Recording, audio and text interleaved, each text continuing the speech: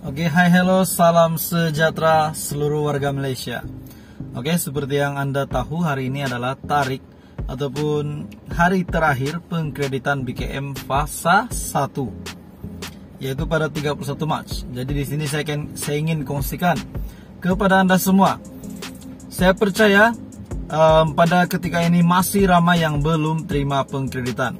Jadi di sini adalah info penting saya ingin sampaikan kepada Anda melalui um, survei saya sendiri di Facebook resmi Bantuan Keluarga Malaysia 2022 ataupun BKM 2022. Jadi melalui laman FB ini saya melihat ramai luahan ataupun uh, banyak juga um, post berkenaan dengan BKM. Jadi ini sangat membantu rakyat Malaysia yang ada melawat di laman FB resmi ini. Sangat membantu kepada Anda untuk mengetahui berkenaan dengan pengkreditan BKM fasa pertama sejak 28 Maret lagi bahkan sejak daripada permohonan lagi melalui Facebook ini banyak kita boleh berkongsi pendapat dan juga banyak juga komen daripada ahli-ahli uh, pegawai bank semua yang sudah menerima pengkreditan cara permohonan. Jadi di sini Anda boleh mendapat kebaikan melalui laman FB resmi ini. Jadi lawat jangan tak lawat laman FB resmi BKM 2022. Jadi seperti yang admin lihat di sini,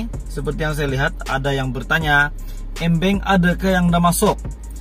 Oh, begitu. Jadi ramai juga komen di sini terdapat uh, melalui post dia ini terdapat 28 komen uh, berkenaan dengan Embeng yang pemilik account Embeng bertanya jika ada pengkreditan BKM sudah masuk atau belum. Dan ini post ini adalah 5 jam yang lalu.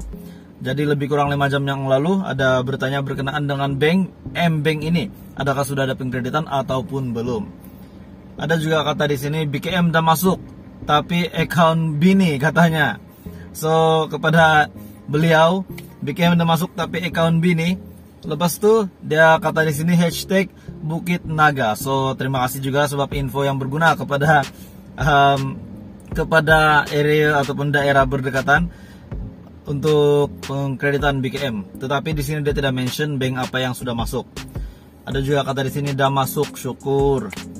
Dan ada berkata untuk public bank, BKM public bank sudah masuk RM 300. Saya di antaranya yang tidak kemaskini apa-apa maklumat sebab tiada perubahan masih dapat BKM. Terima kasih kerajaan. So maksudnya di sini semasa tempo tempo pengemaskinian, tempo pendaftaran baru, permohonan baru sejak 1 Januari hingga 31 Januari.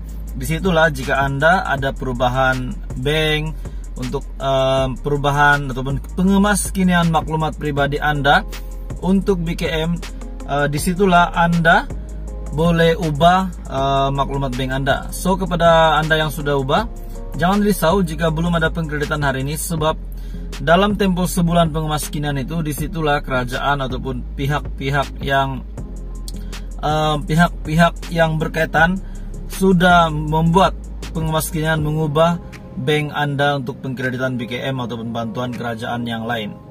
Begitu juga ada dekat atas sini bank Islam sudah masukkah So banyak juga bertanya berkenaan dengan bank mereka sudah masuk atau belum dan terdapat banyak respon di sini di grup ini yang Anda boleh lihat bahwa bank yang mereka tanya itu sudah masuk atau belum. So ini sangat berguna kepada Anda semua.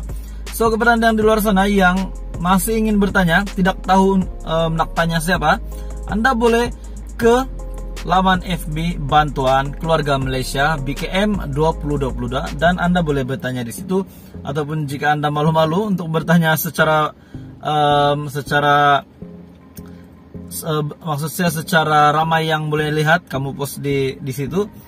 Mungkin kamu boleh bertanya di ruang di ruangan komen juga. So begitu juga ramai yang tanya Assalamualaikum. Nak tanya ada ke pada masuk BKM area Perak Teluk Intan BSN. So bila pertanyaan begini diajukan di grup ini, saya yakin dan percaya ramai akan komen sebab kita rakyat Malaysia kita sama-sama tahu bahwa keperluan untuk pengkreditan BKM ini info-info yang kita perlu tahu antara satu dengan yang lain. So apa pun yang masih belum ada pengkreditan hari ini setakat petang ini Jangan risau, sebab kerajaan tetap akan kreditkan BKM fasa pertama sebab hari ini adalah hari terakhir pengkreditan BKM fasa pertama. So, apa pun, saya harap Anda semua dalam keadaan yang sehat. Yang baru dalam channel ini, Anda boleh subscribe channel ini.